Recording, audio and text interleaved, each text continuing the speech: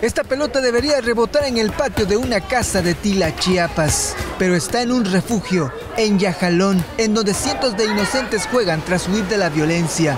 Un poquito dramático.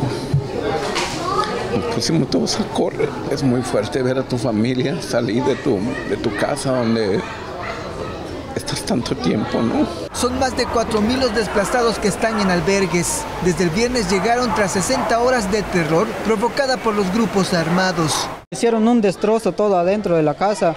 Tiraron las televisiones, se llevaron celular, se llevaron todos los cargadores de teléfono, se llevaron dinero, hasta las alcancías lo rompieron y se llevaron todo el dinero. El conflicto tiene su origen en un pleito agrario desde aproximadamente 1986. Habitantes de Tila buscaban la autonomía de la cabecera municipal, que finalmente fue declarada un ejido y fue rechazada la autoridad municipal. Pero ahora se habla pues ya de grupos armados, de eh, grupos delictivos, el hecho de quemar casas, carros, se habla de violaciones de mujeres, de personas. El pueblo de Yacalón despertó su lado humanitario. Cientos de voluntarios han trabajado para atender a los desplazados. Aportando su granito de arena, una sopa, un arroz y todo eso. Y pues más que nada, en lo que se pueda apoyar. Aquí en Yacalón todos intentan ayudar con lo que pueden, pero las inclemencias del tiempo es algo que no se puede detener.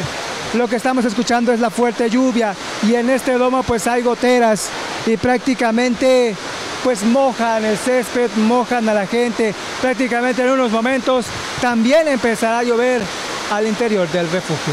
Las autoridades dieron a conocer que tras los hechos violentos se reportan 17 casas incendiadas, 21 vehículos calcinados y dos muertos.